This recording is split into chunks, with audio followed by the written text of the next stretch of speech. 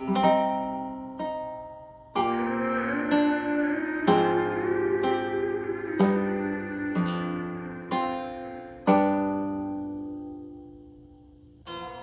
everyone.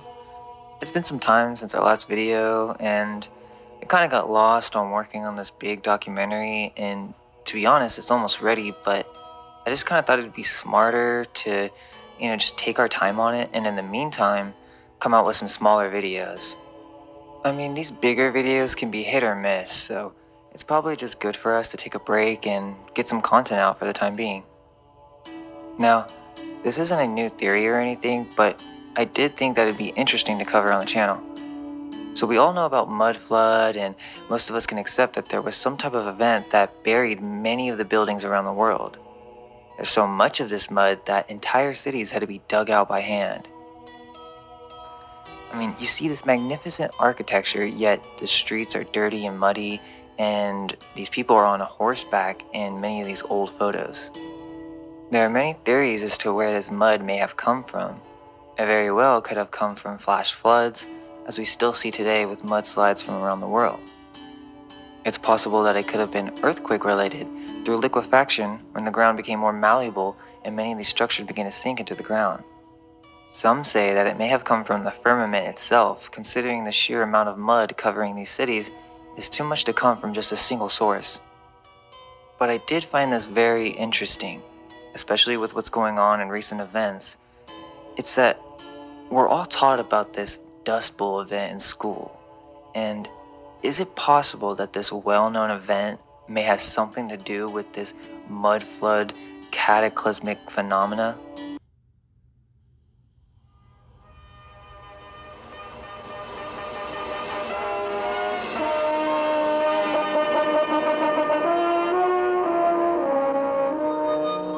Untouched southern Great Plains, for centuries subject to unpredictable weather, relentless wind, and recurrent drought, but in season the richest grazing land on earth.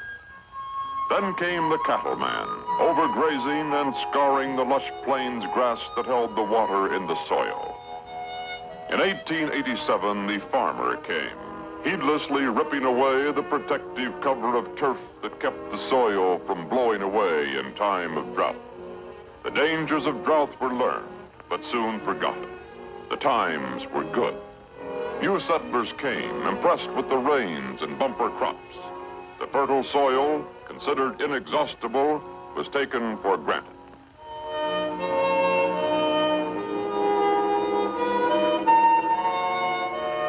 Thousands poured into the plains to grab what they could from the soil.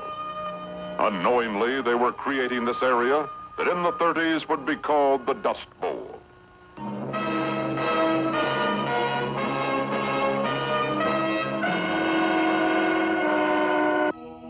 So, the whole mainstream story is that the Dust Bowl was the name given to the drought stricken southern plains region of the United States, which suffered severe dust storms during a dry period in the 1930s. The story that they give us is that it's the fault of these inexperienced farmers who had moved to the Great Plains after the Homestead Act of 1862. They are the ones to blame for this event. Essentially, after World War I, these farmers began over farming in order to produce enough for the rising demand of wheat and corn, as the story goes. Because the crops began to fail after the drought of 1931, this led to the overplowed farmland being exposed, which was then blown away, creating massive dust storms. Now, I don't know about you, but there's just something about the story that seems like a cover up, especially if you consider that humans have supposedly been farming for thousands of years by this point.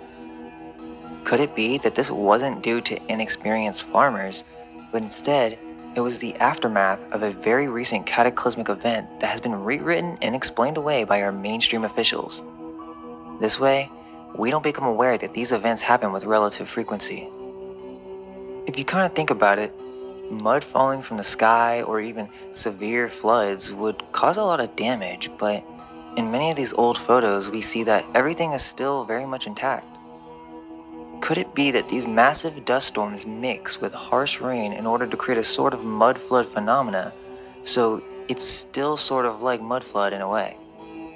It's even possible that these storms were created from a source. Or are the result of an energy outburst, which we can cover as we continue? It's just very suspicious that this education system wants to spin this as the result of bad agricultural practices that were just localized to America. Yet, this could have been a worldwide event. There were even black blizzards that swept across America as far east as Washington, D.C. and New York City. These clouds of dust were so massive that it would darken the sky for days at a time. Over 850 million tons of topsoil had blown off the southern plains in 1935. That's 8 tons of dirt for every resident of the United States. That seems like a lot. So, where did this topsoil go? Another possibility is that this event was purposely initiated in order to bury many of the leftover architectures in the United States. Another reason that this event is taught in our mainstream history classes is because this event directly contributed to the Great Depression. Was it deliberate? Was there a technology at the time hidden from the public that could manipulate the weather to benefit the elite? Does that technology still exist to this day? Quote, He who controls the weather controls the world. The phrase popularized by President Lyndon B. Johnson, but it is surely an age old phrase. They loved to teach that the Great Plains were desolate and empty.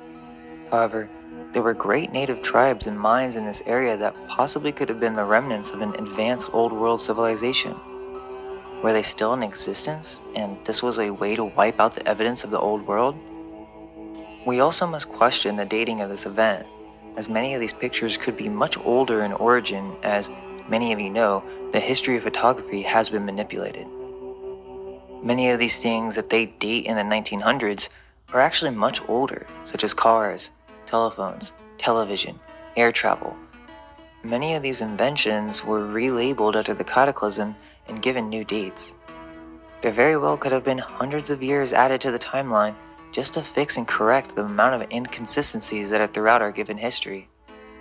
That said, this event could have taken place during a war, possibly even the Civil War, and again, let's remember that even that story has its own falsities to unveil. The running narrative is that this war was due to slavery. Some may ask, well, if the Civil War was much more recent, why aren't there any real photos of the war, not staged ones? Well, that's kind of the point. There are no real photos of the Civil War because it's not what they tell us it is. It wasn't a battle for slavery, it was a battle for a movement of power from the old world to the new world. So essentially, and many of us have already accepted this, but we aren't really in 2021. These dates have been set up to manipulate our perception of time and history. They don't want us to know that in recent times, there is an invasion of the old world. Many tactics were used, one of them being the deliberate use of weather modification, creating massive dust storms in order to create mass deaths and dependency on the government. This also would have begun the transfer of wealth from the remaining old world into the new world. What it comes down to is we cannot truly trust that this event occurred in 1935 we also must question if it was actually much longer in its duration, and even the amount of people who were killed, buried, or destroyed due to dust pneumonia and or the mud that came from the mixing of heavy rain after these dust storms. So what do you guys think? Is there a connection between the Dust Bowl event of mainstream history and what is known as mud flood and Tartaria circles? Do you guys think that weather modification is still happening today? I mean, we are seeing a rise of deadly weather activity. There's a lot more to cover when it comes to mud floods, so please share your findings in the comments and we'll make sure to get to it in the next video.